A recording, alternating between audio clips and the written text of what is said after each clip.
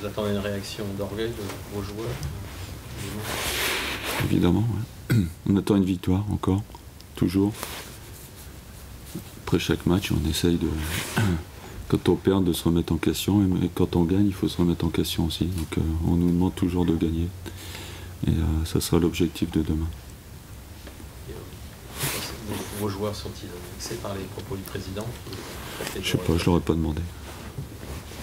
faut demander aux joueurs. Est-ce que, vous Comment espérez, est-ce que vous espérez qu'ils le sont? Je sais pas, je... demandez-leur, je, je peux pas je peux pas penser à leur place.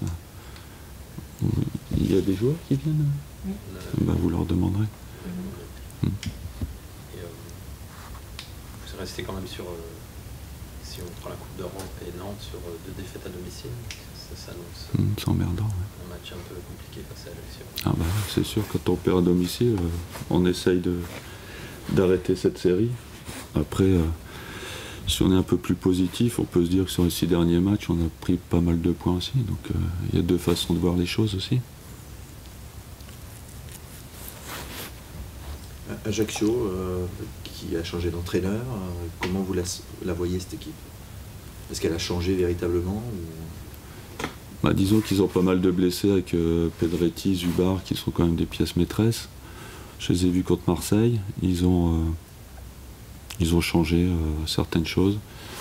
Ils ont de la vitesse quand même devant avec Eduardo. Ils ont euh, l'Ivoirien Talo là, qui, est, assez puissant. Ils ont euh, euh, le petit Cavalli qui est capable de, donner des ballons et qui est dangereux sur les coups de pied arrêtés. Euh, ils ont mis André au milieu qui est quand même assez vif avec Pierrazzi. Je suis assez étonné qu'il soit là, mais bon, c'est toujours la, même chose. Et il y a peut-être à un moment donné euh, des choses qui ont moins bien marché, mais contre Marseille, ils ont fait un match correct. Après, Marseille a marqué des buts d'anthologie avec Gignac qui a, mis le deuxième but là, qui était, euh, qui était assez incroyable. Donc voilà, il ne faut, pas- il faut pas se baser sur leur classement. Il faut, il faut se baser sur, euh, sur ce qu'ils ont montré contre Marseille. Il y avait beaucoup d'agressivité et, beaucoup de qualité, j'ai trouvé. Donc euh, méfiance pour demain.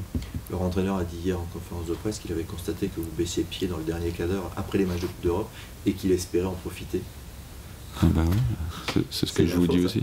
C'est ce que je vous dis aussi. C'est pas une info, c'est. Je, je regardais Marseille hier, ils ont eu une dernière demi-heure qui était compliquée euh, après leur match de Coupe d'Europe. C'est le cas de, de- de beaucoup d'équipes. Préparer à peut-être une équipe qui, euh, qui forcément euh, va pouvoir s'appuyer sur un gardien performant, sur une défense. Ah oui, de toute façon, je vous dis, c'est pas. C'est une équipe qui a 8 points, mais qui, euh, qui mérite beaucoup plus par rapport à ce qu'ils ont montré contre Marseille. Après, c'était à domicile, c'était un autre contexte. Contre euh, une équipe Marseille, je pense que c'est une équipe euh, qui fait, qui fait courir les joueurs et, qui, qui, leur permet de donner 100%. Mais moi, je les ai trouvés quand même assez surprenants contre Marseille, malgré la défaite. Vous disiez après le match de Coupe d'Europe euh, sur l'inefficacité devant que des joueurs devaient prendre plus parce que c'est Mm. vrai qu'il y a Diabaté et après on attend les autres. Euh, c'est un discours que vous leur martelez, il faut tenter plus, il faut... Bah, on leur fait la vidéo avec Alain. euh, À l'entraînement, on leur demande d'être efficace, de marquer des buts. Et c'est vrai qu'on on constate un peu les mêmes manques à l'entraînement, ou quand on fait des jeux, il n'y a pas beaucoup de buts de part et d'autre. Donc c'est, plutôt embêtant, parce que si on marque pas l'entraînement, on a, on a du mal à marquer en match. On, jou- on joue comme on s'entraîne. euh, bon, mais c'est aussi valable pour l'efficacité. Donc euh, euh, c'est, le problème de beaucoup d'équipes. C'est pas la première fois que je vous le dis, mais euh, malheureusement, c'est, le problème qu'on a cette année. Mais il faut qu'ils prennent plus de risques aussi dans leurs initiatives. Oui, après, bon, on a vu Henri qui a fait un retour acrobatique, qui est un petit peu moins bien, mais il a tenté ce, ce geste-là. Donc, je pense que c'est une question de, de temps. Après, euh, c'est quand même des joueurs qui ont marqué à un moment ou à un autre. Jussier, il a marqué. Même s'il marque moins maintenant, il a marqué à un, à un moment donné. euh, Henri aussi. Ludo aussi. Donc, je pense que ça va revenir. Mais aujourd'hui, c'est vrai que c'est un petit peu notre manque euh, pour, pour gagner les matchs un peu plus. On a vu de la percussion aussi de la part de Nicolas Maurice Bellet dans le premier mi-temps. Ouais. Voilà, ça avait été le cas aussi contre Nantes, c'est quelqu'un qui revient bien. Ouais, malheureusement, il a pris une béquille. Bon, il s'est pas entraîné normalement aujourd'hui, donc euh, il y a un point d'interrogation avec lui demain. Soit euh, je le fais démarrer, soit je le fais rentrer suivant, euh, suivant les- l'essai qu'il va faire. ou les sensations, parce que l'essai c'est compliqué quand on joue à 14 heures. Donc point d'interrogation encore sur Nico. Mais il revient bien quand même. Oui, oui, bah après il a été blessé, bon, il a, il a pris du jus et puis il revient en bonne forme. Aussi, y a trop de buts. Toujours pareil, l'efficacité. Quand on voit les Allemands, ils ont une grosse occasion en début de deuxième. Après, c'est euh, c'était pratiquement la seule du match. Et puis sur leur deuxième, ils arrivent à marquer. Après, bon, c'était sur la fin, c'était c'était presque perdu à, ce moment-là. Il restait 5 minutes, mais c'est quand même. Un troisième, il restait 10 minutes en fait. Ouais, après. Ouais, c'est vrai qu'on prend toujours un, but de trop. On n'en prend pas énormément, mais il y en a toujours un trop parce qu'on marque pas beaucoup. Donc, euh, dès qu'on en prend un ou deux, comme on n'en marque pas, on est soit on fait nul ou soit on perd. Le problème, c'est que c'est souvent les mêmes buts. Oui, après, c'est toujours les mêmes. Sur le centre, euh, au départ, euh, le centreur, il ne doit jamais être seul. Il faut couper toujours les problèmes à la source, et là, on ne le fait pas. Est-ce que vos joueurs sont capables de faire leur meilleur coup pas sur les buts Parce que on voit que c'est toujours les mêmes. Mais oui. On leur dit, on leur montre, on essaie de rectifier les choses. Là, pour, pour vous, c'était qui tout le monde. donc euh, je peux pas changer tout le monde. Bragnac qui s'attrape avec l'Arbi, qui part avec l'Arbi, passant par CV, Poulger, Sané qui va passer le ballon, Enrique qui va passer. Le problème c'est ça, c'est quand on fait une erreur, il n'y a, personne qui, récupère l'erreur derrière. Il y a toujours deux ou trois erreurs sur un but, alors que on peut faire une erreur et on récupère pas l'erreur derrière. Mais on peut pas dire qu'on prend des 3 ou 4-0 tous les dimanches, c'est pas ça. Mais on prend toujours un but de trop qui permet pas de, gagner euh, par un zéro comme euh, Lille euh, gagne toujours un zéro parce qu'ils prennent pas de but. C'est pas parce qu'ils ont plus d'occasions que nous, mais c'est parce qu'ils prennent pas de but. Est-ce que c'est pas plus difficile à corriger justement quand c'est un but de trop, mais un peu toujours le même où tout le monde est un peu coupable que si vous, disiez qu'on en prend trois, bon là c'est clair et net, et là on a l'impression que personne vraiment assume mais si, sa petite erreur, ils assument à partir du moment où on voit à la vidéo la vidéo, c'est. Euh, il n'y a, pas de d'échappatoire. Hein. On, voit après euh, la sensation du match, après un match, on peut dire tiens, c'est toi, non, non, c'est. Mais la vidéo, c'est. Euh, voilà, c'est clair et net, il hein, n'y a pas de problème. Donc, bien sûr, il faut rectifier, mais c'est un problème collectif. Comme marquer des buts, c'est un problème individuel à l'arrivée, mais au départ, c'est un problème collectif aussi. Après, on se crée des occasions, c'est déjà pas mal. Maintenant, il faut passer à une autre phase, c'est l'efficacité. À la fin du match, euh, des joueurs se sont un peu euh, houspillés. Euh, vous mettez ça sur le compte de... Moi, je suis content quand c'est comme ça. Ça veut dire qu'ils sont concernés. Moi, je préfère qu'il y ait un petit peu plus de, problèmes comme ça. Mhm. pendant le match ou avant le match ou, après le match. Moi, ça, ça, ça, ça, me plaît, ça. Ça me plaît beaucoup. Ça prouve qu'il y a des hommes de caractère. Bien sûr. Heureusement qu'ils s'engueulent. Ils sont toute l'année à 25 dans un vestiaire. C'est normal. C'est un vestiaire qui s'engueule pas, qui est, plutôt inquiétant. Donc euh, moi, ça, ça, ça m'intéresse. Hein. Vous craignez euh, par rapport à certains euh, des conséquences sur l'élimination qui, qui, modifie évidemment le, visage de la seconde partie de saison, par exemple, etc. Vous savez, il y a 17 équipes qui font pas de Coupe d'Europe. Hein. Ils s'en accommodent quand même. Hein. Oui, non, mais que vous, vous avez commencé, c'est pas pareil. Bah oui, on, a fait 6 matchs, c'est déjà pas mal. On a fait 18 matchs en 2 ans, je trouve que c'est pas si mal que ça. Malgré toutes les critiques. 18 matchs en Coupe d'Europe pour Bordeaux euh, sur 2 ans, je pense que c'est pas mal. Après, euh, voilà, euh, on aurait peut-être pu en faire deux de plus, peut-être.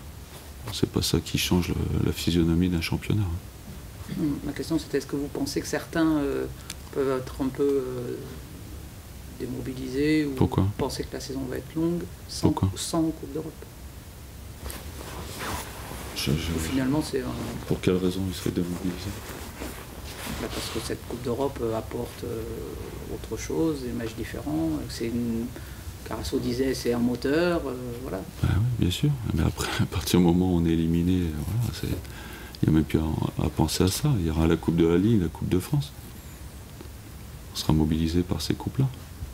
On avait vu que l'année dernière, Marseille avait justement profité de ne plus être en Coupe d'Europe pour faire une deuxième partie de saison plus qu'intéressante. Mm. Est-ce que vous pensez que ça va avoir le.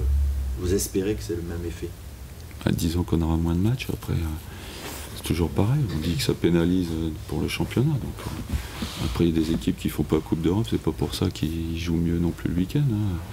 On verra, c'est pas, c'est pas une, une obligation non plus. Euh, après, ça dépend du groupe qu'on a. Hein, S'il est capable d'aller chercher euh, les, les 6-7 premières places euh, ou non. Donc, mais sans match le, jeudi, évidemment, ça peut favoriser certaines équipes. Vous jouerez moins à 14h Peut-être. c'est pas, pas sûr. C'est pas sûr. Pour bien comprendre, Francis, est-ce que c'est plutôt le soulagement qui vous habite après l'élimination ou les regrets, justement, parce que vous disiez notamment jeudi soir que vous auriez aimé pouvoir jouer le match coup près à, Tel Aviv. Qu'est-ce qui l'emporte en fait? Eh ben, C'est la déception. Évidemment, c'est la déception. Quand on, a un match à jouer et que malheureusement, euh, c'est un match qu'on doit gagner contre, euh, contre Francfort et ça nous permettait de, jouer notre qualif là-bas, évidemment, c'était quand même euh, plus intéressant d'aller là-bas avec un espoir de passer on n'est jamais content de perdre des matchs. Ça, c'est une certitude. N'écrivez pas que j'ai, euh, je suis content d'être éliminé, parce que je, m'attends à tout. Hein. Aujourd'hui, je lis des trucs, mais c'est, c'est, incroyable. Regardez quand même, avant de critiquer ma façon de faire, les compositions d'équipe à tous les matchs de Coupe d'Europe.